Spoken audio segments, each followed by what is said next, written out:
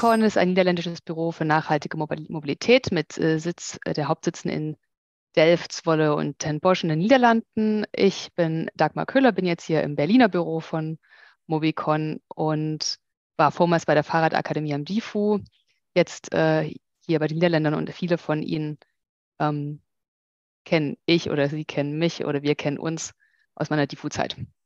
Jetzt wollen wir natürlich ein bisschen wissen, wer sind Sie hier? Wir sind jetzt 64 Leute im Raum. Herzlich willkommen, das ist toll. Schreiben Sie doch mal in den Chat, wo Sie jetzt gerade sind. Mal schauen, ob wir äh, noch mehr Niederländer und Niederländerinnen haben oder wo in der Republik Sie sitzen. Da gibt es unten eine Chat-Funktion. Kennen Sie sicherlich längst. Ähm, Budapest, Hamburg, Aachen, Berlin. Das äh, ist ja schon mal ein halber Ritt hier durch die, durch die Republik. Schwerin, Köln, hallo aus München, Cottbus, Delft. Das freut mich auch. Aus Ungarn, toll. Oldenburg, sehr schön. Viele Fahrradstädte haben wir hier. Ähm, Berlin, das um die Ecke, das auch klasse. Haben wir denn auch hier Preisträger dabei, die gestern beim ADFC-Fahrrad-Klimatest äh, sich äh, ausgezeichnet wurden? Au Aufholer. Rainer Everts ist Aufholer. Super. Iserlohn. Herzlichen Glückwunsch, Iserlohn.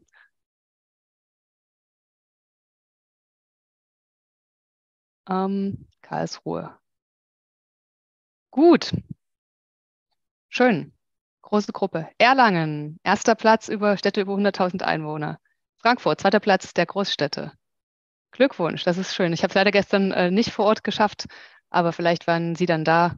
Und äh, Gruß an die Frankfurter Kollegen, das freut uns sehr. So, heute jetzt hier. Äh, vier, Nieder vier Fehler der niederländischen Fahrradplanung. Woher kommt dieser äh, Titel, der Sie jetzt hierher gelockt hat in gewisser Weise? In Deutschland, aus meiner Sicht, wer Radverkehr will, und zwar für alle, kommt an den Niederlanden nicht vorbei. Und wir sind hier in Deutschland ähm, kein Anfängerland, das ist klar. Wir haben schon relativ äh, hohe Radverkehrszahlen, auch im Vergleich zu vielen anderen Ländern. Aber wir sind trotzdem 40 Jahre ungefähr später dran als unsere Nachbarn in den Niederlanden. Ich habe ähm, auch während meiner Zeit an der Fahrradakademie am DIFU oder dann beim Mobilitätsforum Bund gemerkt, dass wir die Niederländer mit einem Auge verehren für das, was sie im Fahrradbereich tun, uns aber mit dem anderen Auge doch immer mal fragen, ob hier nicht äh, zu viel Glanz und Gloria an den Geschichten ist, ob das wirklich so sein kann, ob es keinen kritischen Blick in den Niederlanden gibt und man einfach alles macht. Oder wie kann es auch sein, dass in, in Zeiten von Spaltung und Populismus, gerade bei uns, wo der Radverkehr so politisiert wird, in den Niederlanden alles prima läuft und prima bleibt? Oder reden wir uns vielleicht manche Dinge einfach schön? Und äh, deswegen haben wir gedacht, wir sprechen heute mal Tacheles. Ich habe mir vier echte Niederländerinnen und Niederländer zusammengesucht, damit wir mal hinter die Kulissen schauen und einfach verstehen, was da passiert, was diskutiert wird. Ist es ein paradiesvogelartiges Gehabe oder gibt es da genauso äh, tiefergreifende Diskurse? Deswegen haben wir heute vorbereitet für Sie vier kurze Impulse zu den vier Fehlern, die wir äh, in einer unvollständigen Liste identifiziert haben. Keine Sneak Preview. Es wird um um ambitionierte Ziele geben und trotzdem um Lösungen, die dann so aussehen. Gibt es das in den Niederlanden vielleicht auch? Wir wollen fragen, fährt denn äh, in den Niederlanden wirklich jeder einfach Fahrrad? Es geht darum, äh, sind niederländische Kreuzungen ein Albtraum für Menschen zu Fuß? Und wir wollen auch mal nach den Netzen schauen und äh, Kfz-Radverkehrsnetze anschauen. Deswegen der Ablauf jetzt. Sie hören jetzt die vier Vorträge. Schreiben Sie gern Ihre Kommentare, Anmerkungen, Fragen bereits äh, in der Zeit in den Chat. Wir greifen die dann im Anschluss auf und diskutieren sie erst gemeinsam im Plenum für zehn Minuten und danach ähm, gehen wir in Kleingruppen. Sie können sich dann eine Kleingruppe aussuchen, mit einem der Referierenden ähm, in den direkten Austausch gehen. Also können Sie gern schon überlegen, während Sie das hören, in welche Gruppe Sie nachher wollen. Dann äh, kurzes Housekeeping noch. Äh, das Webinar wird aufgezeichnet, die Kleingruppen nachher nicht. Da können Sie im geschützten Raum sprechen. Und damit geht es jetzt los und wir schalten ins Studio nach Delft, wo meine Kollegin Tabea unsere Referierenden vorstellen wird. Ich wünsche Ihnen sehr interessante Vorträge und erstmal viel Spaß und wir sehen uns dann in ungefähr 40 Minuten hier wieder. Hallo und herzlich willkommen zu dem ersten deutschsprachigen Mobicon Academy Video aus dem Studio in Delft. Heute zu Gast im Studio haben wir Bernhard Ensing, Angela van der Kloof, Robin van der Gried und Johann Dieb, die uns einen Überblick in die verschiedenen Themenfelder der niederländischen Fahrradplanung geben werden, was dort nicht so gut läuft und auch uns Lösungsansätze präsentieren werden. Als ersten Gast haben wir Bernhard Ensing. Bernhard arbeitet seit vier Jahren bei Mobicon und ist das Gesicht des deutschen Teams. In den vergangenen Jahren war Bernhard unter anderem stellvertretender Bürgermeister in der niederländischen Gemeinde Koevoorden, Direktor des Niederländischen Radfahrerbundes und Generalsekretär der European Cyclist Federation. Er, heute gibt er uns einen Einblick in, äh, was trotz niederländischer Ambitionen und guter Vorsätze bei der Umsetzung schieflaufen kann. Ich habe mir gedacht, dass ich Sie heute mal mitnehme entlang meiner Route, die ich fast täglich fahre in den Niederlanden, nur 50 Minuten lang, zum Thema, was alles schiefgehen kann bei der Umsetzung auch in den Niederlanden. Wir haben wie in Deutschland gute Oberziele, Unterziele, Umsetzungspläne. Wir haben das Paris-Abkommen.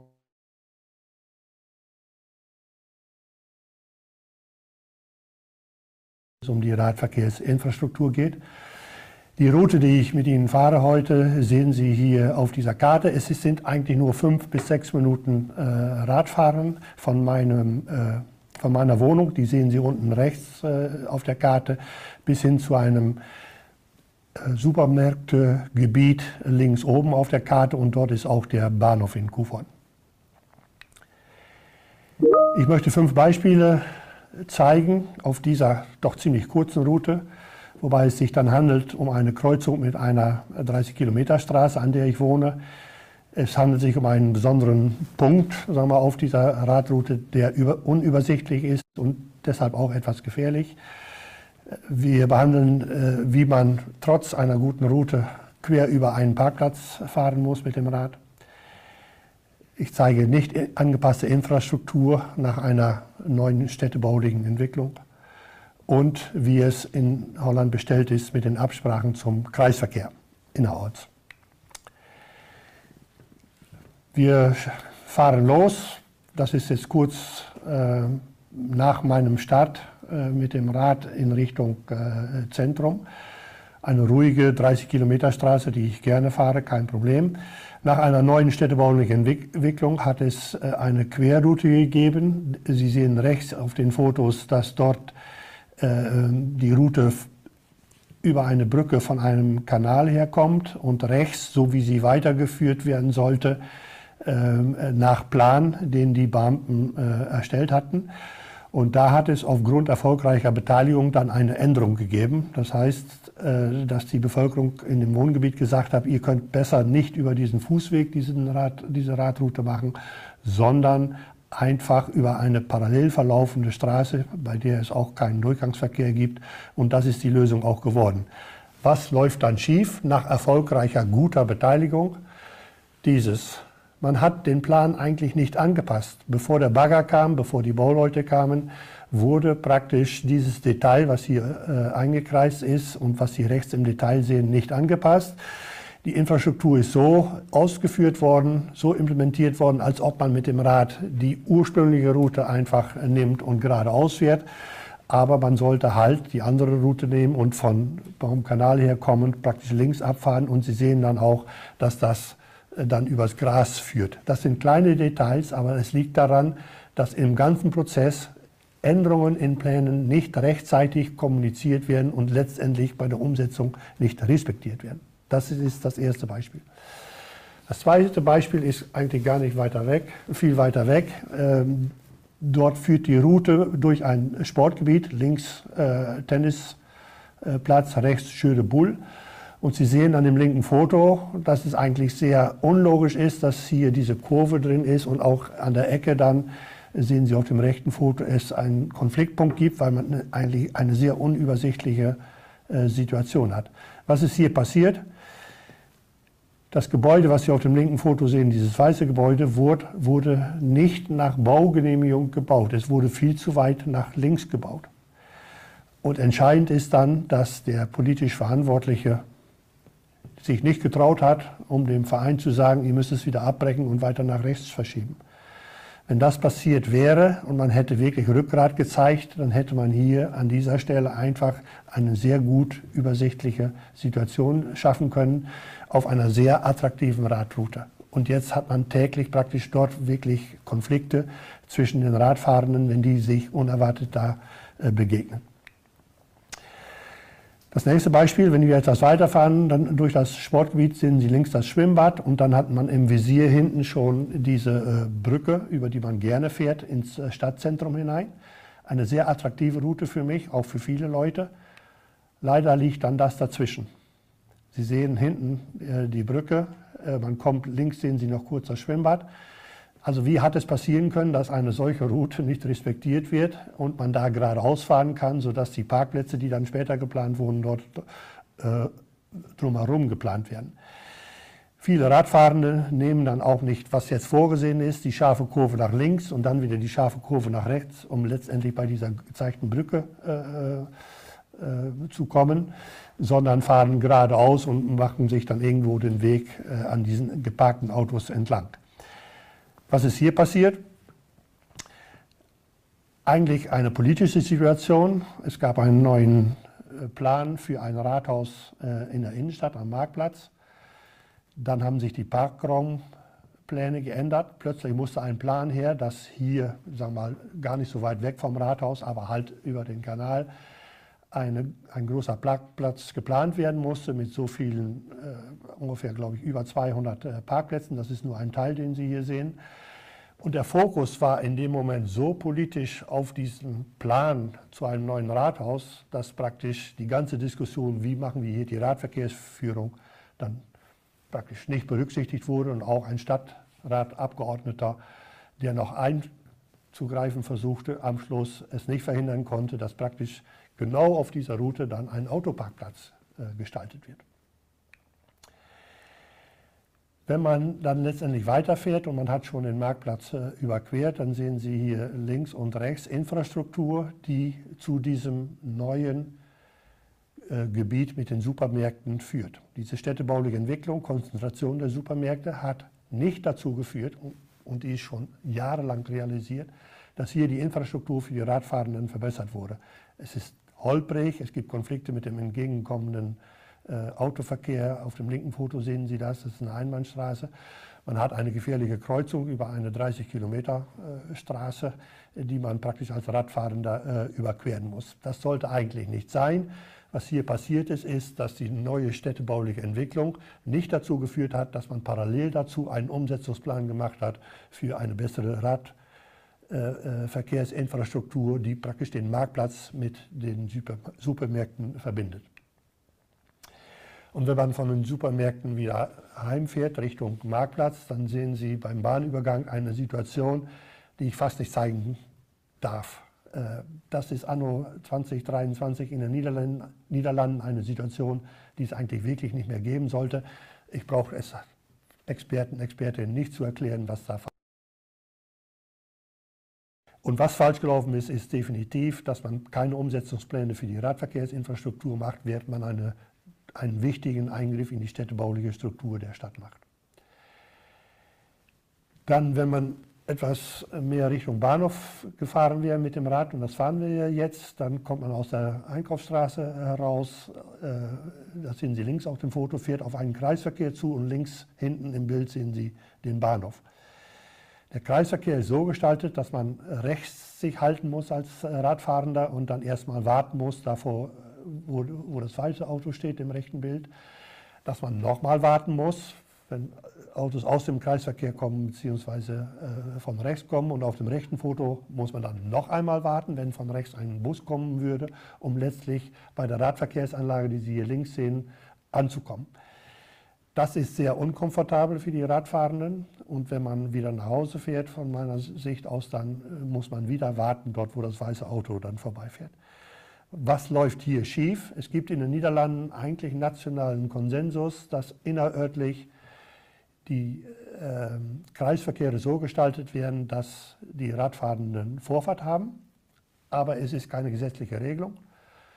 Meine Gemeinde, die Gemeinde Kuhvorden, wie die ganze Provinz Drenthe, haben sich dazu entschieden, diesem Konsens nicht zu folgen und deshalb müssen wir so oft absteigen. Was dazu führt natürlich, dass die Radfahrenden nicht den ganzen Kreisverkehr nehmen, sondern aus der Einkaufsstraße heraus einfach links abfahren, weil es dann nur eine Straße zu überqueren gilt. Was habe ich persönlich daraus gelernt? Wie könnte man es besser machen? Besser machen könnte es meines Erachtens so, dass man bedient, was Politikerinnen und auch Verwaltungsbeamte und Beamtinnen eigentlich gerne wollen. Sie wollen eigentlich gerne punkten mit guter Radverkehrsinfrastruktur. Man kann ihnen damit helfen, dass man doch innerhalb der Verwaltung Protokolle und Checklisten einführt, dass es verpflichtend ist, dass bevor der Bagger kommt, alle Änderungen in den Plänen noch einmal gesichtet werden und dass auch bei kleineren Raumordnungs- und äh, Baugenehmigungsentscheidungen wirklich nochmal jemand draufschaut und sagt, was bedeutet das eventuell für die Radverkehrsinfrastruktur. Ein zweiter Punkt, äh, der Verbesserung bedeuten würde, ist, dass man wirklich bei städtebaulichen Maßnahmen parallel Umsetzungspläne schon macht für den Radverkehr, um zu sehen, wie man das dann konfliktfrei hinbekommt mit dem Radverkehr. Und als einziges Beispiel zur Politik hatte ich ja eigentlich nur den Kreisverkehr genommen, also dort, wo in Umsetzungs- und Ausbaustandards es noch nicht stimmt in der Gemeinde, auch in den Niederlanden, braucht man halt politische Lobby, um das zu organisieren. Soweit mein Beitrag zu fünf Beispielen, die zeigen, dass es in den Niederlanden wirklich nicht an allen Stellen gut läuft. Und ich könnte eine große Tour mit Ihnen machen durch die Niederlande, entlang von Infrastruktur, die wirklich suboptimal gestaltet wurde. Vielen Dank für Ihre Aufmerksamkeit und bis irgendwann in Deutschland. Vielen lieben Dank, Bernhard, für die guten Eindrücke und auch Fehler, die dort passieren können. Als zweiten Gast begrüße ich Angela van der Kloof. Angela ist strategische Beraterin bei Mobicon und ein bekanntes Gesicht in der Fahrradmobilitätswelt innerhalb der Niederlande und außerhalb. In 2020 hat sie Women in Cycling mitgegründet und setzt sich für ein diverses und inklusives, inklusiven Fahrradsektor ein. Aber, wie es ja immer so heißt, jeder fährt in Niederlande Fahrrad. Aber ist das wirklich so? Hallo liebe Leute, heute darf ich euch kurz auf ein Thema aufmerksam machen, das mich fasziniert. Das Fahrradparadies der Niederlande. Ist es für jeden da? Daher auch dieser Titel. Radfahren für alle. Sind die Niederländer im Ziel? Ähm, zu Beginn habe ich einige Thesen, die ich Ihnen vorstellen werde. Und bitte schreiben Sie für sich auf, ob Sie diese Thesen zustimmen oder nicht. Alle Niederländer haben mindestens ein Fahrrad. Ja oder nein?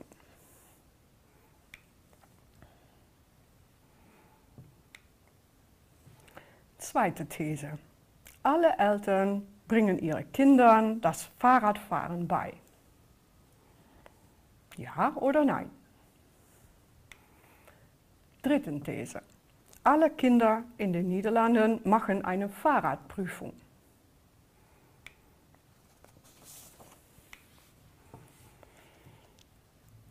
Alle junge Menschen in den Niederlanden fahren mit dem Fahrrad zur Schule.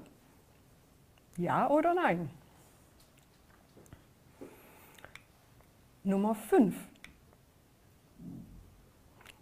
Jeder, der in die Niederlande zieht, lernt Fahrradfahren.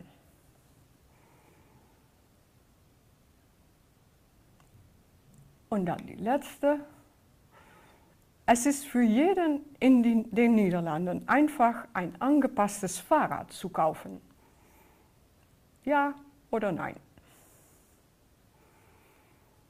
Vielleicht ähm, ist der Fazit in den Niederlanden fahren alle Rad. Oder in den Niederlanden fahren nicht alle Rad. Wirklich? Wieso dann? Auf keiner von diesen Thesen ist Ja das Antwort. Es ist nie für alle Leute in die Niederlande. Ein paar Zahlen wieso nicht alle in den Niederlanden Rad fahren. 64 Prozent aller Niederländer fahren täglich oder mehrmals pro Woche Rad, also das sind ganz viele. Aber 22 Prozent fahren fast nie oder nie Rad. Das sind 3,6 Millionen Niederländer. Sind das dann alle Babys und äh, sehr alte Menschen? Nein. Ähm, wir wissen, welche die Kennzeichen sind von Leuten, die viel und Leuten, die nicht viel fahren oder überhaupt nicht fahren. Am linken Seite sieht man die Kennzeichen von die fast nicht Radfahrer. Das sind Senioren, Menschen, die keine Arbeit haben, äh, Menschen, mit, äh, die gering qualifiziert sind, Menschen mit geringes Einkommen und Menschen mit einem nicht westlicher Migrationshintergrund. Kennzeichen von Alltagsradler sind Kinder und junge Menschen, Schüler und Studenten und Leute mit einem niederländischen Hintergrund. Wir wissen aber auch, ähm, dass es komplex ist. Es gibt verschiedene ähm, Überschneidungen von diesen verschiedenen Kennzeichen. Und was auch wichtig ist, ähm, hiervon ähm, mitzunehmen, ist, dass die Möglichkeit, sich mit dem Fahrrad fortzubewegen, besonders wichtig ist für Kinder und jugendliche Leute, ähm, weil die haben kaum keine Alternativen in vielen Gemeinden. Nun werden Sie vielleicht denken, naja, okay, das mag sein, aber das muss doch überhaupt kein Problem sein. Man darf doch, doch wohl selbst entscheiden, ob man das Fahrrad benutzen will oder nicht. Und im weiteren Verlauf dieses Vortrags werde ich erklären, warum es nicht so schwarz-weiß ist und warum dies in unserem Fahrradparadies durchaus ein Problem darstellt.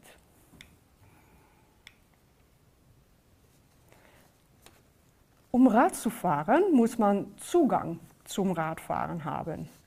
Genauso wie man Zugang zum Autofahren haben muss, um Auto fahren zu können oder Zugang zu öffentlichen Verkehrsmitteln, um damit zu fahren.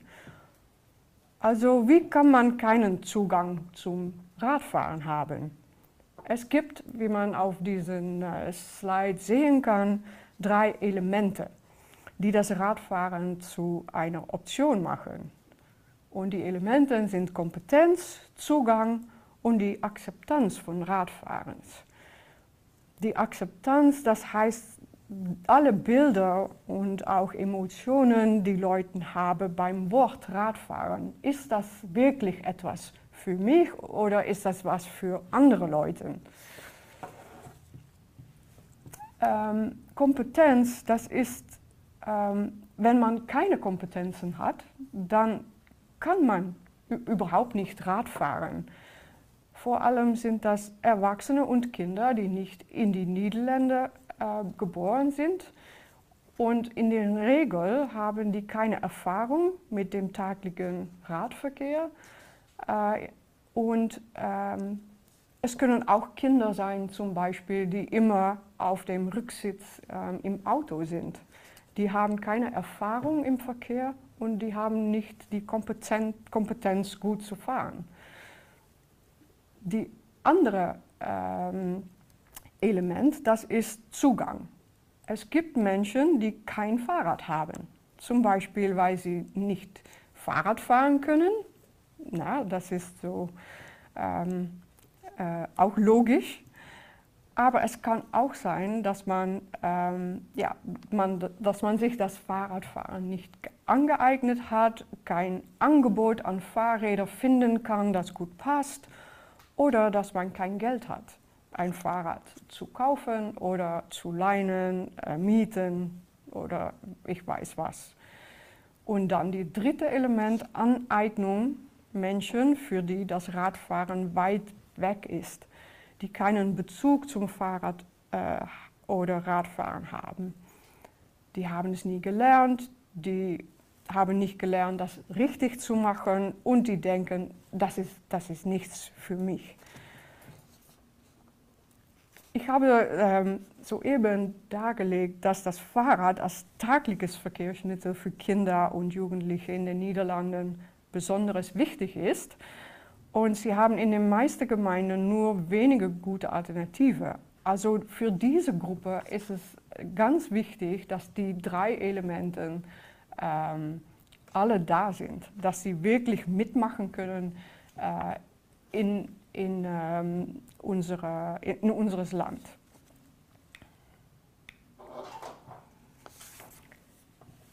Eine Studie, die wir letztes Jahr für das Ministerium für Infrastruktur durchgeführt haben, ergab die folgende nationale Zahlen. Vor allen Kindern von 6 bis 17 Jahren besitzt ein von 28 kein Fahrrad. Und ein von 20 Kindern fährt nie oder fast nie mit dem Fahrrad. Und wenn man dann äh, im stark urbanen Gebieten guckt, dann besitzt ein von 14 Kindern kein Fahrrad und ein von 11 Kindern fährt nie oder fast, fast nie mit dem Fahrrad. Also das ist 9, 9 äh, Prozent ähm, und das ist nicht wenig, wenn man versteht, wie äh, wichtig es ist, dass alle Kinder mitmachen können und Chancen haben ähm, in ihrem Leben. Also was wir auch wissen, ist, dass über 93 Prozent aller Grundschulen nehmen an den theoretischen Verkehrsprüfungen teil. Also das, das sind natürlich viele Schulen. Äh, das sind 200.000 Kinder äh, im Jahr im Alter 10 bis 11 Jahren. Aber das sind nicht alle Kinder. Also auch 83 äh, Prozent der Schulen nehmen teil an der praktischen Verkehrsprüfung. Also das sind weniger als die Schulen, die nur das theoretische Praktikum machen. Warum die Schulen nicht teilnehmen, das ist manchmal, weil es zu wenig Kapazität gibt, zu wenig Eltern, die mitmachen wollen oder dass das finanziell alles nicht geht. In fast allen Schulen, also von diesen äh, 83 Prozent der Schulen, die mitmachen mit der Verkehrsprüfung, aber fast in allen Schulen ähm, gibt es Kinder, die nicht, nicht mitmachen. Und in der Hälfte dieser Fälle ist der Grund dafür, dass diese Kinder nicht gut genug Fahrrad fahren können. Also genau die Kinder, die nicht gut Fahrrad fahren können, die machen dann nicht das Praktikum. Ähm, es gibt auch Schulen, wo es Kinder gibt, die kein Fahrrad haben oder ein Fahrrad, das nicht in gutem Zustand ist und dann dürfen die auch nicht mitmachen. Also ähm, das ist wichtig zu verstehen, dass das, äh, der Verkehrsprüfung, der ist nicht obligatorisch in den Niederlanden. Viele Schulen machen das, aber nicht für alle Kinder. Und die Kinder, die nicht mitmachen, das sind eigentlich die Kinder, die das am meisten brauchen. Ja, aber warum ist das dann eigentlich ein Problem? Die meisten Kinder und Jugendlichen fahren doch Fahrrad, oder? Ja, eigentlich wollen wir, dass so viele Menschen wie möglich Zugang zu unserem guten Fahrradsystem haben. Das ist gesund, äh, das ist sozial, äh, Kinder können teilnehmen an der Gesellschaft. Das Klima, das ist auch gut für das Klima.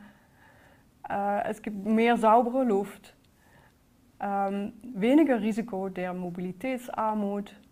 Und das Fahrrad ist dann auch ein allgemeines Verkehrsmittel in der Mobilitätswende, ähm, ja, der Wegener geeignet ist, wenn weniger Leute Fahrrad fahren können und das auch äh, machen. Also das ist wirklich ähm, wichtig, nicht nur für die Menschen selber, sondern auch für äh, die Gemeinschaft alles zusammen.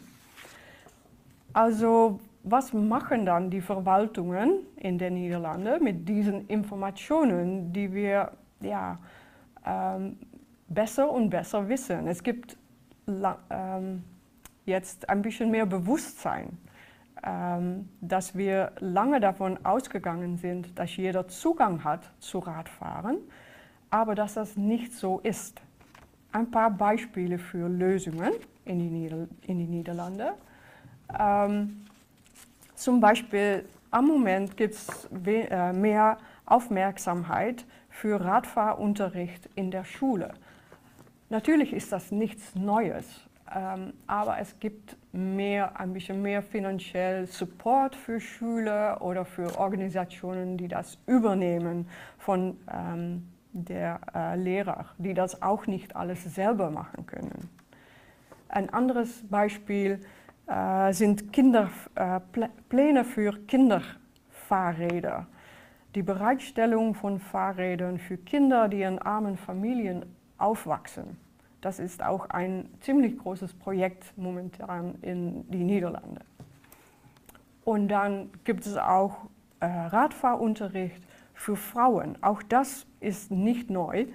Äh, das, das gibt es schon lange, aber jetzt wird es in verschiedenen Gemeinden stärker beachtet. Diese Beispiele, es gibt auch solche Beispiele natürlich ähm, in Deutschland. Und ähm, das ist auch wichtig, dass wir voneinander lernen können. Ähm, und das letzte Beispiel, das ich geben will, ist Monitoring, Forschung und Sensibilisierung von äh, Fachleuten. Ein großer Teil der Menschen in den Niederlanden fährt Rad, aber es gibt Gruppen, äh, die zurückbleiben. Die profitieren von spezifischen Programmen und auch äh, Aufmerksamkeit. Ähm, in der Mobilitätsbranche ist es nicht offensichtlich, dass es solche Individualisierung von Programmen gibt. Und ähm, um jedoch den Übergang zur Mobilität für alle Menschen zu ermöglichen, wissen wir heute, dass den Unterschieden äh, zwischen Menschen und den entsprechenden unterschiedlichen Bedürfnissen mehr Aufmerksamkeit geschenkt werden muss. Und also auch ähm, in einem Fahrradparadies muss man immer über den Tellerrand, äh, Tellerrand schauen. Wir bleiben kritisch und Radfahren für alle kann immer besser werden. Vielen Dank für Ihre Aufmerksamkeit. Lieben Dank, Angela. Als dritten Gast haben wir Robin van der Grient. Robin ist vor allem tätig in der Straßenplanung und hat unter anderem in Schweden bei Ramboll und Ikea gearbeitet und seit letztem Jahr bei Mobicon tätig. Er wird uns einen Einblick in die niederländische Kreuzung geben. Sind die wirklich gut gestaltet oder doch ein Albtraum für zu Fußgehende? Hallo, danke Tabea. Ähm, niederländische Kreuzungen und besonders geschützte Kreuzungen werden oft präsentiert als optimale Lösungen für Radfahrenden. Aber wie Menschen zu Fuß diese Kreuzungen erleben, ähm, wird, ist vielleicht einer der großen Fehler der niederländischen Fahrradplanung. Heute betrachten wir diese Kreuzungen von dieser Perspektive. Ähm, welche Konflikte bekommen wir? Und wird das ein Albtraum für Fußgänger? Fakt ist, wenn Radwege an diese Kreuzungen introduziert werden, ähm, resultiert das in extra Konflikten zwischen Fußverkehr und Radverkehr. Und das kann ein besonderes Nachteil sein für Fußgänger. Sie bekommen weniger Platz und beim Queren müssen Sie auch Radverkehr beobachten. Auch in den Niederlanden selbst wird das oft diskutiert. Während bei jedem Zentimeter am Radverkehr gedachtet wird, werden zum Fußgehen manchmal vergessen. Und bei geschützten Kreuzungen resultiert das oft zum Beispiel in ähm, so enger äh, Abstellbereiche. Und ich äh, erlebe das selbst, wenn ich mit meinem Sohn und Kinderwagen unterwegs bin. Wann passieren diese Konflikte? Es gibt Momente, wann der Ampel für äh, Fußgehenden rot ist. Ähm, und dann ist es einfach und ähm, kann man relativ ohne Eile diese Aufstellfach erreichen. Vielleicht ist es dann auch kein Problem, um äh, Radfahrenden Vortritt zu lassen, sodass sie ein, eine grüne Ampelphase nutzen können. Aber das funktioniert nur, wenn die Aufstellfläche groß genug sind. Die Konflikte passieren hauptsächlich, wenn der Ampel für Fußgänger Grund zeigt und es gleichzeitig äh, querenden Radverkehr gibt. Und das ist eine große Herausforderung für Menschen, die eigentlich keinen Augenkontakt machen können. So, wie kann es besser laufen? Wie kann man diese niederländischen Kreuzungen besser machen? Und was gibt es für Alternative? In verschiedenen Ländern ist das die Praxis, Radwege vorher eine Kreuzung zu enden. Und damit werden die Äcker ein bisschen wie Mischflächen. Das kann funktionieren bei kleinen Verkehrsmengen, aber das resultiert auch in gemischte Botschaften. Die, es ist nicht unbedingt deutlich, wann es ein Mischfläche ist und wann es ein ordinärer Gehweg ist. Das wird resultieren in Ungewissenheit für Radfahrenden, wo man radeln, mach, äh, wo man radeln möchte und wo nicht. Und für Fußgehenden ist es nicht deutlich, wo sie Radfahrenden erwarten können. Als Alternativ kann man äh, dieser Raum deutlicher entscheiden. Ähm, das macht einen großen Unterschied bei gesch äh, geschützten Kreuzungen, ob die Raum für Gehwege und Radwege deutlich zu unterscheiden ist und ob die Ausstellfläche äh, groß genug sind. Zum Beispiel an links sehen wir kaum keinen Unterschied zwischen die Rad- und Fußwege äh, und fast keine äh, Abstellfläche. Während rechts ist das viel deutlicher und räumlicher ähm, definiert. Dann kann man auch entscheiden, um äh, zu Fußgängern mehr Priorität zu geben, zum Beispiel mit Zebrastreifen. Das ist nicht die Praxis in den Niederlanden. Und das Argument davor ist, dass Radverkehr oft Fußverkehr ignoriert. Ähm, aber dieses Verhalten ist auch ein bisschen durch diese Praxis entstanden. So vielleicht können wir darin besser werden. Um Fußverkehr noch mehr zu priorisieren, kann, können die Gehwege auch erhöht durchgeführt werden. Das Höhenunterschied äh, trägt daran bei, dass äh, Radfahrenden sich mehr anpassen möchten an zu Fußgehenden. Und zu Fußgehenden behalten ein exklusives Raum, äh, den sie für sich selbst nutzen können. Eine Lösung, die ich absolut nicht rekommendieren möchte äh, bei geschützten Kreuzungen, ist, um Ampel über die Radwege zu implementieren. Das wird unnötig kompliziert werden und nicht hilfreich sein. Die ähm, viele Vorteile der geschützten Kreuzungen äh, gehen damit verloren. Zum Beispiel die vor, vorgesogenen Haltelinien und die kürzeren Querungslängen, auch für Fußgänger. Und wenn man über diese Konflikte redet, muss man auch ein bisschen relativieren. Wie gefährlich sind diese Konflikte eigentlich?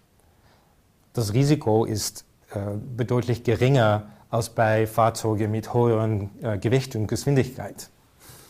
Und für Menschen zum Füßen im Rad ist es äh, einfacher, um aufeinander zu reagieren. Mit kleinen Anpassungen können sie umeinander äh, navigieren. Und liegt ein Teil des Konflikts eigentlich nicht darin, dass wir das Autoverkehr im Stadt eigentlich zu viel Raum gegeben haben? In jedem Fall ist es wichtig, dass wir den Kontext beobachten. Wie wichtig ist Fuß- und Radverkehr auf diesem Platz? Ähm, was sind die Verkehrsmengen und wird das äh, zu Konflikten leiten?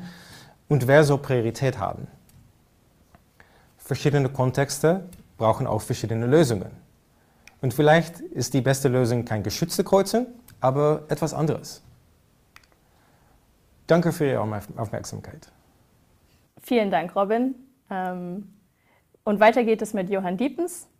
Äh, Johann hat vor 37 Jahren Mobicon gegründet und hat die niederländische Expertise weit über die Grenze hinausgebracht. Neben der Niederlande und Deutschland ist Mobicon auch in Kanada und den USA tätig. Er wird uns einen Einblick in die Netzwerkplanung geben. Ist dies eine Grundlage für einen neuen Mobilitätsansatz? Guten Tag. Ich möchte gerne etwas äh, reden über äh, Netzwerke.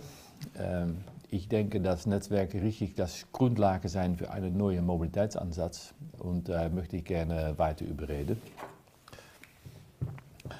Ähm, wenn wir reden über Netzwerke, dann geht es manchmal über Leute, die von A nach B gehen. Ähm, und äh, Netzwerken reden wir manchmal über MIV-Netzwerke und nicht um öffentlichen Nahverkehr, aber das Radverkehr und das Fußgängerverkehr finden wir ein bisschen schwer. Ich denke, dass es wichtig ist, dass wir die Netzwerke für Fahrräder und Fußgänger entwerfen aus der Perspektive des Nutzers. Hier kann man ein Bild sehen von Amsterdam. Ich denke, viele Leute sind einmal in Amsterdam gewesen. Und was, was man hier sieht, ist eigentlich, dass es Aktivitäten gibt in der Stadt. Da möchten Leute gerne zugehen. Und das macht eigentlich das eine lebendige Stadt. Und das ist die Aktivitäten auf die Platz. Wenn wir reden über ein Netzwerk äh, für, ein, für das Fahrrad, dann gibt es viele Sachen, dass das, das, das, das dabei gibt. Aber ich denke, dass es wichtig ist, dass wir über die Attraktivität und die Schönheit einer Route reden und über Verkehrssicherheit.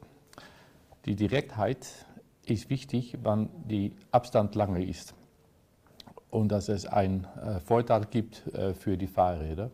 Hier sieht man die Tunnel unter der Maas in Rotterdam und das ist ganz ja, eine wichtige Route für das Radverkehr, um an die eine Seite von, der, von das Wasser zu kommen zu der anderen Seite. Mit Verkehrssicherheit können wir lang reden, aber was wir gefunden haben, über die ganze Welt eigentlich, ist, dass es eine große äh, Verschiedenheit gibt zwischen 30 und 50 km pro Stunde mit Mixen und Trennen. Wenn das Mixen durchgeht auch mit 50 und es passiert etwas, dann ist die, die Chance, dass man äh, getötet wird, ganz groß. Äh, 85 Prozent. So 30 und 50 sind ganz wichtige äh, Geschwindigkeiten in der Stadt über Verkehrssicherheit. Wenn wir reden über Netzwerken, ist es eigentlich wie die Nerven von einem Blatt. Äh, man startet vom, vom Haus und dann bekommt man eine, eine größere Gruppe und so kommen die Routen. Und wir sehen manchmal, dass die Routen auf diese Weise auch aufgebaut sein müssen. Und eigentlich die feinen Gebiete von einem Blatt sind eigentlich die 30 Kilometer Zonen, die Wohngebieten. Und dann geht man zum Zentrum oder zum Arbeitsgebiet oder zum Schule. Und das ist ganz wichtig. Das Problem, das wir in Holland haben, ist, dass wir viel Data haben. Sicher viel Data über das MIV-Verkehr, aber sehr wenig Data eigentlich über die Fußgänger und auch wenig Data über das Radverkehr. Das geht ein bisschen schneller jetzt, das Radverkehr, aber es ist nicht ein Standard, dass eine Gemeinde oder eine Provinz äh, täglich Untersuch macht nach die Data oder die Data einsammelt. Ähm, das gibt ein Problem für die Netzwerke, und wie, machen, wie wissen wir schon am Anfang, äh, wo die Fahrräder sind. Ähm, das haben wir auch schon gearbeitet mit das gleiche Problem in Deutschland und wir haben da einige Sachen für gemacht. Wir haben äh, an der linken Seite sieht man, dass wir ein Automodell gebrauchen und äh, die, die, die Länge von 5 Kilometer gebraucht haben. Von das sagen wir, das ist der Market, äh, wo man auch an das Fahrrad gehen kann. Und dann gehen wir nicht sagen auf die Weg, aber eigentlich in Vogelflucht. Ne? Wir nennen das ein Star, machen wir damit. Und dann können wir die Routen machen, von wo sind eigentlich die Interessen von Leuten, um eine ja, Bewegung zu machen, äh, kürzer dann 5 Kilometer. Das kann man auch kombinieren mit äh, Un Unfalldata, das sieht man an der rechten Seite. Und damit zusammen hat man eine Idee, wo die Probleme sind für die Fahrräder und äh, was für mit der Verkehrssicherheit. Manchmal haben wir auch Data von bestimmten Zielgruppen zum Beispiel für eine Schule, das sieht man hier. Man kann gut ansehen, wo kommen die Kinder von. Und auch haben wir die Routen von den Kindern im heutigen äh, Netzwerk gebracht. All das zusammen kann man eigentlich ein Netzwerk machen. Vor einigen Jahren haben wir für die Stadt Gouda gearbeitet, ne, von die Gese. Ne, ein bisschen Promotie machen für Holland. Ähm, und da haben wir eigentlich gesagt, okay, das ist die Straßenkategorisierung für äh, MIV-Verkehr. Das Grüne ist 50, äh, Blau ist 80, Rot ist 100. Und dann ist das eigentlich das Wichtige, was ich sagen möchte, ist, dass das Fahrradnetzwerk ganz etwas anderes ist dann das Auto, das MIV-Netzwerk. Ja, viel detaillierter, ja, wie die Nerven von das Blatt. Viele von diesen Routen gibt man eigentlich im 30 Kilometer Zone. Äh, und wenn man das einmal ansieht wieder, ne, das Autonetzwerk und das Fahrradnetzwerk sind ganz anders. Äh, dabei haben wir auch gesagt, okay, was sind die 30 Kilometer? Ne, das ist wichtig für die Fahrräder, aber auch für die Fußgänger. Und das kann man hier ansehen. In den Jahren 90 haben viele Gemeinden in Holland haben diese Netzwerkpläne gemacht. Und jetzt sehen wir, dass es wichtig ist, dass wir, wichtig, dass wir wieder eine neue Stellung machen, weil es gibt einige Probleme. Und äh, da möchte ich gerne weiter überreden. Und eigentlich ist es ganz einfach, was wir machen mit Mischen und Trennen. Ich denke, dass das eine wichtige Diskussion ist. 10 ist für die Fußgänger, 20 ist Fußgänger und äh, Fahrräder, 30 eigentlich ist immer der Fußgänger getrennt und mixen wir die Fahrräder mit Mopeds und das MIV und 50 ist alles getrennt, Fahrräder, Fußgänger und das MIV-Verkehr. Geht das gut? Nicht immer. Äh, die Niederlande sind ein Land von zu vielen Kompromissen, das kann man hier sehen im Nordwijk. Äh, eigentlich muss es eine Spielstraße sein mit 15, aber eigentlich gibt es auch äh, Shops und eigentlich ist es auch eine Route für die Fahrräder und die Mopeds. Und da kann man hier sehen, dass wir immer hè, Wahlen machen, von dann machen es, dann geht es nicht. Und ich denke, dass es ein Problem in Holland jetzt ist, dass wir ja, zu viele Kompromisse machen, dass es nicht klar ist, was wir eigentlich möchten. Hier sieht man ein Bild von äh, einem äh, Fahrräder in äh, Amsterdam. Und was wir auch sehen, ist, dass eigentlich es ist zu voll. Ähm, wir haben jetzt viele Fahrräder, mehr Fahrräder dann Menschen in Holland. Und auch ist die Verkauf von äh, E-Bikes geht schneller und schneller. Das macht uns eigentlich, dass die Geschwindigkeit ist nicht das gleiche mehr auf das, für das Fahrrad, für den Radweg. Äh, die Breite ist nicht genug. Und eigentlich sehen wir, dass wir ein bisschen Status quo haben in die Diskussion dort über. Was ist die Geschwindigkeit auf der Radweg und wer möchte da kommen und wer nicht? Die Mopeds haben jetzt alle einen Helmet, muss sie dann bei das MIV oder nicht? Und eigentlich geht die Diskussion äh, ja, nicht schnell genug, um die Realität mitzunehmen.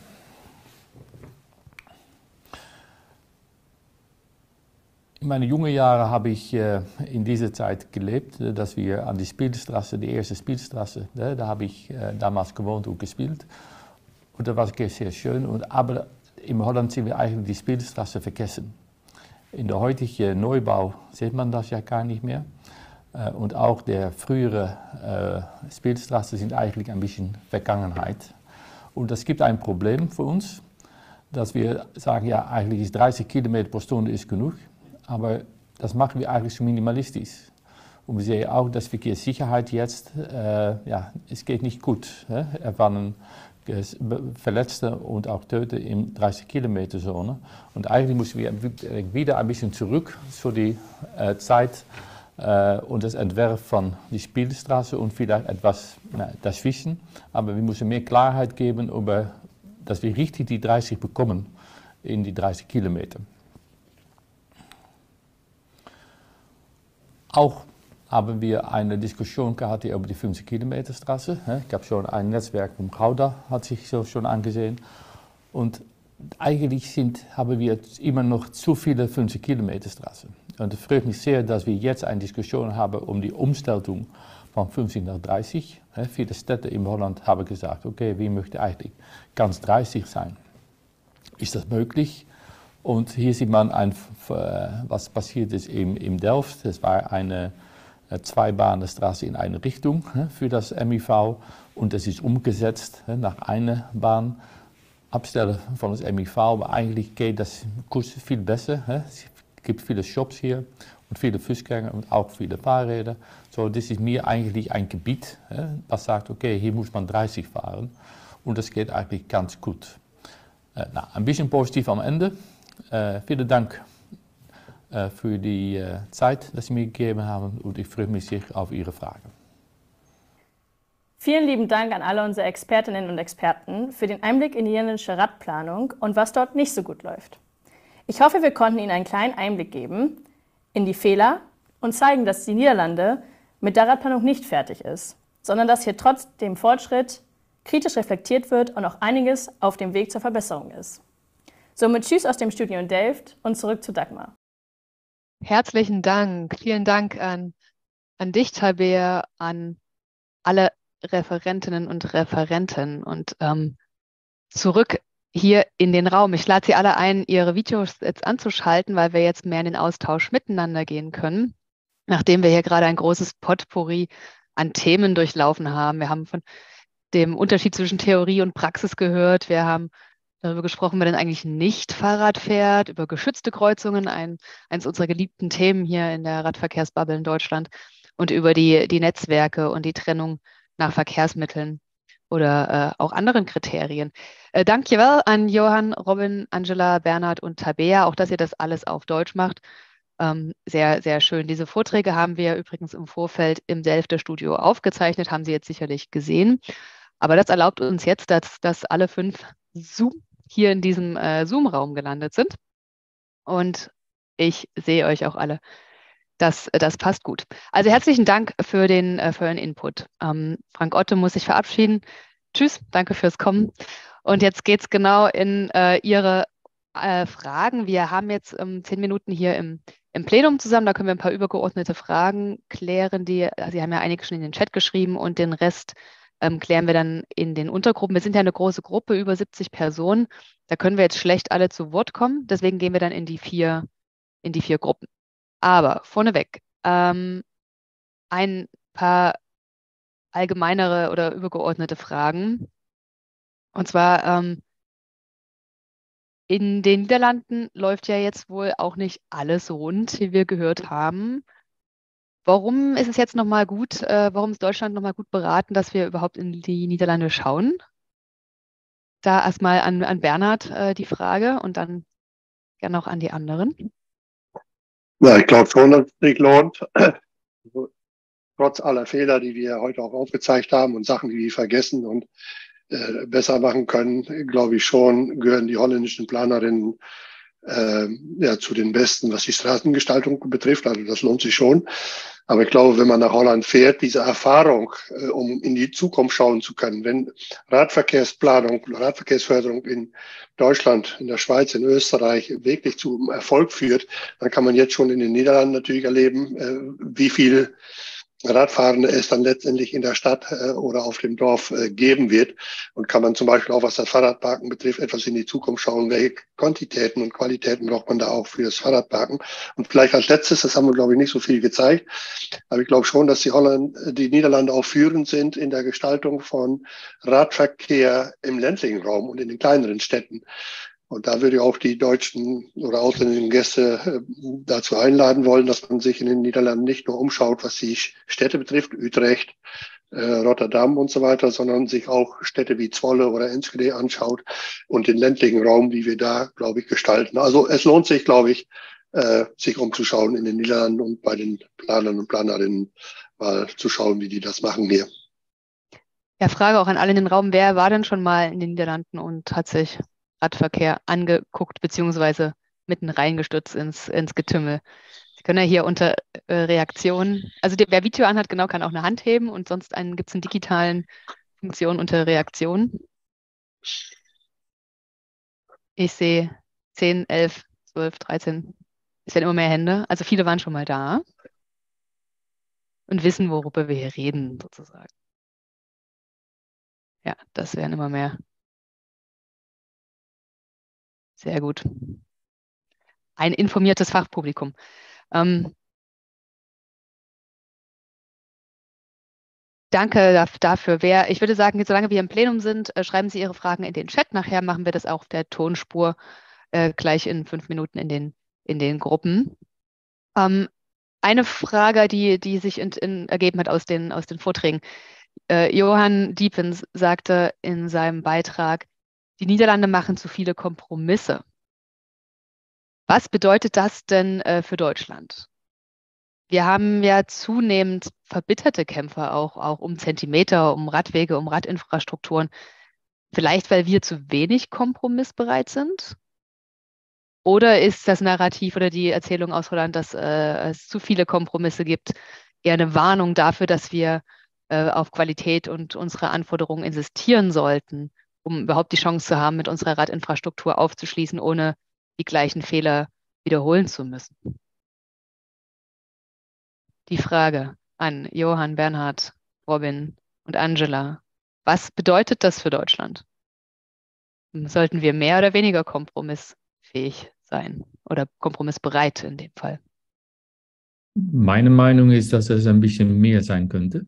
Ähm, was wir uns ansehen in Deutschland so weit ist, dass es manchmal eine, ja, ich nenne das eine Silo ist, wo man redet und auch äh, mit den anderen Leuten nicht so viel, ja, ganz spät redet eigentlich. Und ich denke auch die Partizipation, äh, dass das weitergehen kann. Dass es eigentlich geht es nicht nur um ein Prinzip von das MIV oder das Fahrradverkehr, aber geht es manchmal über das, das Leben in einer Stadt oder ein, ein Dorf. Ähm, ich denke, dass gut ist, um mit den Leuten zusammenzureden. Ich sage immer, jeder ist ein Mobilist. Äh, und einmal ist man Fußgänger, jedes Mal ist man am das Fahrrad und das nächste Mal an MIV. So, das geht alles zusammen. Und es ist manchmal richtig, ich bin ein Fahrrad äh, und ich bin ein MIV. Aber Kompromiss ist besser, aber in Holland machen wir manchmal zu viele Kompromisse. Da muss man auch, wenn man äh, was ist, äh, 30 äh, Parteien im Parlament hast, äh, aber das geht ein bisschen zu weit bei uns. Aber vielleicht andere Holländer sagen darüber. Also meine Erfahrung äh, jetzt in den Diskussionen bei deutschen Auftraggebern ist, das, was Johann, glaube ich, auch schon angesprochen hat, dass man äh, vielleicht die, wir mal, die Kämpfe äh, äh, zu spät einsetzt. Ne? Ähm, man muss, glaube ich, äh, frühzeitig in den Beteiligungsprozessen auch die eigenen Kollegen in der Verwaltung, auch die eigenen Kollegen in der Verwaltung von den anderen Abteilungen. Grünamt spielt oft eine, eine große Rolle, äh, äh, Denkmalschutz spielt eine große Rolle und so weiter. Und wenn man jetzt dort, wo man irgendwie mal Kompromisse schließen muss, weil es halt andere gute Anliegen gibt, die berücksichtigt werden muss, dann muss man das halt frühzeitig, glaube ich, in der Planung mit den Beratern und Beraterinnen äh, schon diskutieren, so dass man schon was Getragenes von verschiedenen Seiten auf den Tisch legen kann. Und das Zweite ist, äh, was ich feststelle, ist noch ein, ein, einen Graben zwischen, sagen wir, politisch abgesegneten Zielen äh, und dann äh, Verwaltung, jetzt mach mal, äh, wo in den Zielen Inkonsistenz äh, teilweise da ist. Äh, ihr müsst die Leute mitnehmen und äh, Parkplätze abschaffen äh, solltet, solltet ihr eigentlich nicht. Aber die Ära-Breiten äh, der Radwege sollten schon äh, nicht nur minimal äh, berücksichtigt werden. Und das gibt dann teilweise, äh, äh, sagen wir mal, in der, in, für die Umsetzungspläne, für die konkrete Planung, also Leistungsphase zwei und drei sozusagen, äh, dermaßen äh, Mission Impossibles, also Unmöglichkeiten, so dass man später wirklich die, die Konflikte dann nochmal äh, lösen muss, weil nicht alles unter einen Hut gebracht werden kann an den Zielen. Und deshalb muss, muss dieser, äh, sag mal, Kompromisse schließen, muss praktisch viel früher stattfinden, so dass man da den Planern und Planerinnen auch, sag mal, getragene Grundsätze und, und Leitlinien für bestimmte Räume schon mal mitgeben kann. Okay, wir haben noch ähm, zwei, zwei konkrete Fragen im Chat, die jetzt nicht eindeutig den äh, Vorträgen zuzuordnen sind. Deswegen nehmen wir die noch, bevor wir gleich in die Kleingruppen gehen. Ähm, sind 15 Kilometer pro Stunde in niederländischem äh, Gesetz Spielstraßen gesetzlich vorgeschriebene Geschwindigkeiten? Robin? Du bist noch. Äh, ja, ja, stimmt. Äh, das ist, äh, ja, eigentlich äh, redet man über äh, Geschwindigkeit, die übereinkommt mit der Geschwindigkeit der zu Fuß gehenden. Aber ähm, das ist ein Kompromiss, dass das 15 Kilometer pro Stunde geworden ist. Das ist die äh, besagte Kompromissbereitschaft. Hier schließt ja, sich der ja, Kreis. Stimmt. Okay. Äh, können Vielleicht wir kritisch betrachten. Ähm, hm, vielleicht. Ein bisschen. Ähm, okay, zwischen Theorie und Praxis liegen auch Welten und äh, ich äh, noch die Frage von Susanne Jäger ist sehr, sehr spannend, die hier auch gestellt wird. Welche Rolle spielt die Verkehrssicherheit bei der Überprüfung und Weiterentwicklung Vision Zero ist ja nicht erreicht. Darüber haben wir auch viel gesprochen letztes Jahr, äh, als ich auf Exkursion gegangen bin nach Utrecht, Zwolle und Hauten mit der, der Exkursionsgruppe der Fahrradakademie, ähm, dass es äh, ein Thema ist. Wie geht es jetzt weiter mit Verkehrssicherheit im Vision Zero? Wer kann sich dazu äußern? Äh, Robin, du vielleicht? Ja, das ist auch immer noch ein Thema, die sehr viel diskutiert wird in den Niederlanden. Ähm, letzte Woche waren die äh, Zahlen präsentiert von den Verkehrsunfällen. Äh, und wir haben immer auch hier in den Niederlanden ein, ein ähm, äh, mehr Verkehrsunfälle im letzten Jahr. Äh, so das geht nicht äh, in richtigen Richtung. Äh, so wir müssen auch da immer noch mitarbeiten. Äh, die Diskussion geht auch über äh, dass, dass Fahrradfahrer Helmen tragen müssten. Das sage ich, glaube ich, gut. Ähm, aber wir sehen auch, dass äh, 70 Prozent der Unfälle mit einem äh, Motorfahrzeug äh, waren. Und äh, das, das, das ist das ist, ja, bringt, dass wir bei der Diskussion da nicht überreden, dass wir nicht reden über äh, die großen Probleme, die eigentlich daran überliegen. Ja, und es gibt ja auch äh, aufgrund der Entwicklung rund um die Verkehrssicherheitszahlen ein ganzes Programm auf nationaler Ebene, äh, was quasi der Wissenschaftsamt des Ministeriums umsetzt und äh, auf allen Ebenen äh, von der Bundesebene auf die Region, auf die Provinzen geht und diese Risikofaktoren identifiziert und Maßnahmen äh, erarbeitet und so weiter. Da ist ein großes Programm jetzt schon eine, eine ganze Weile in Gang, was äh, man sich auf jeden Fall mal anschauen sollte um, und überlegen kann, was, was wir auch hier brauchen im Land. Ja.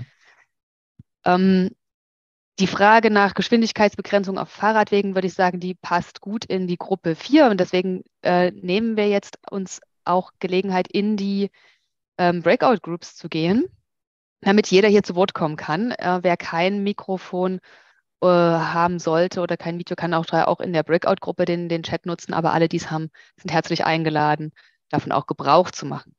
Wir haben äh, vier Gruppen und zwar ähm, können Sie sich aussuchen, mit welchen der Referenten oder Referentinnen Sie jetzt sprechen wollen. Und zwar unten auf der Leiste gibt es äh, den Button Breakout Rooms, da können Sie mal draufklicken um, und sich gleich Ihren, Ihren Raum aussuchen. Raum 1 ist äh, mit Bernhard Ensing, der hatte über ambitionierte Ziele und dann das äh, gesprochen.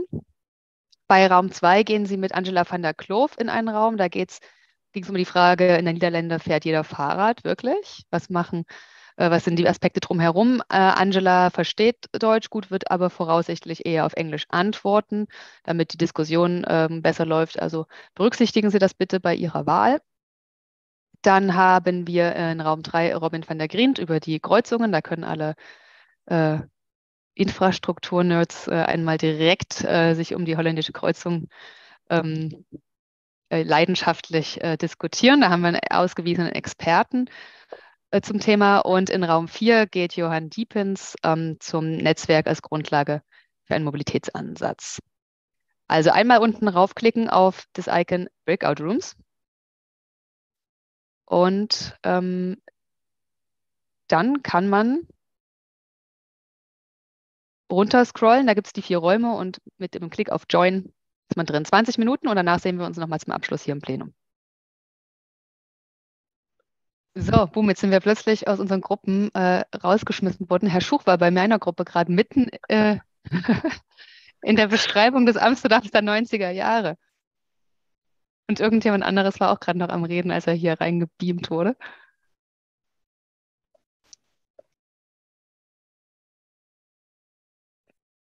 Ja. Bernhard, du, du, bist, du sprichst, aber du bist stumm, falls du das. Ähm ja, bei mir in der Gruppe wurde gerade aus Bremen gemeldet, dass der Bus jetzt im MIV-Stau äh, steht, äh, weil eine Spur dem Fahrradverkehr gewidmet worden ist. Und davor war eine Stellungnahme aus Hamburg, der, die große Überlappung von, von allen möglichen Auflagen mit Wasser und Kabeln und so weiter. Ne? Das, das klang schon nach äh, sagen wir, Unmöglichkeiten in der um in der Fahrradplanung voranzukommen oder in der Umsetzung.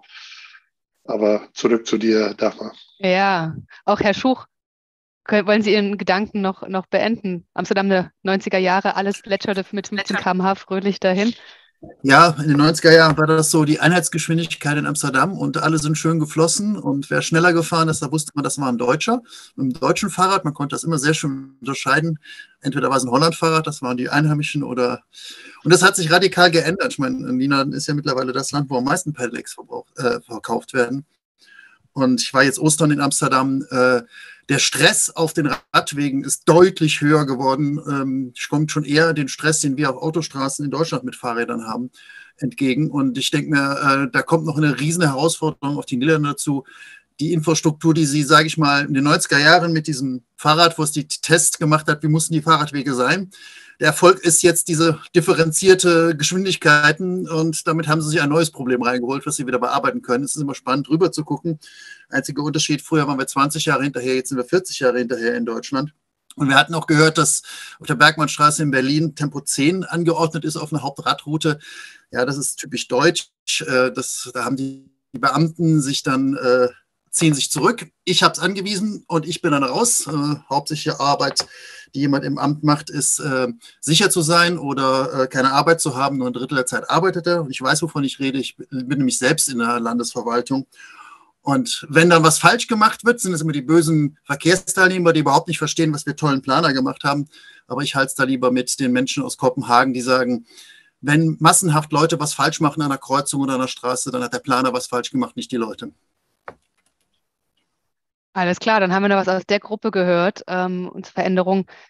Was äh, mich interessiert jetzt noch, jetzt zum Abschluss unsere letzten drei Minuten, äh, was Sie mitnehmen. Wir haben schon gehört äh, von Herrn Schuch, gerne auch aus der Gruppe Infrastruktur oder bei, bei Angela. Schreiben Sie doch gern einfach oder jeder für sich in den Chat, also jeder schreibt in den Chat für uns alle, was Sie aus diesen anderthalb Stunden ähm, Austausch über und mit den Niederlande mitnehmen. Was war für Sie jetzt heute hier äh, vielleicht interessant oder welche Frage beschäftigt Sie noch? Ähm, was, was ist so ein Key Takeaway, würde man sozusagen, kann man es auch nennen? Oder was, was nehmen Sie mit? Schreiben Sie es doch gern in den Chat. Es wird nicht einfacher, ja, das war jetzt auch gerade ein Wort äh, von, von Herrn Schuch, hat auch niemand behauptet. Um, nothing's perfect, but dreams are necessary. Sehr gut, ähm, sehr schön. Wir sollten unsere Gedanken nicht, nicht beschneiden, vielleicht in gewisser Weise. Die Niederlande sind nicht perfekt, aber immer noch ein Vorbild. Wir können lernen, was wir nicht nachmachen sollen. Ja, genau. Vielleicht können wir auch äh, das Beste von allen Welten nehmen und Deutschland noch bessere Lösungen installieren. Warum auch nicht? Und dafür brauchen wir auf jeden Fall Inspiration und Diskurs. Äh, die Zeit war viel zu kurz, gibt einen großen Bedarf okay, ähm, es genügt nicht nur auf ein Verkehrsmittel zu achten, wir müssen das Gesamte im Blick halten. Werden wir eine Aufnahme erhalten? Nehmen Sie mit. Ja, Sie können äh, das nachsehen. Wir haben das äh, Webinar aufgezeichnet. Es wird dann auf dem, ähm, also wir schicken Ihnen, schicken Ihnen den äh, Link rum, aber die kleinen Gruppendiskurse wurden nicht aufgezeichnet. Wie gesagt, sollte man da ja im geschützten Raum miteinander reden können. Ähm, Landesverwaltungen sind überbewertet.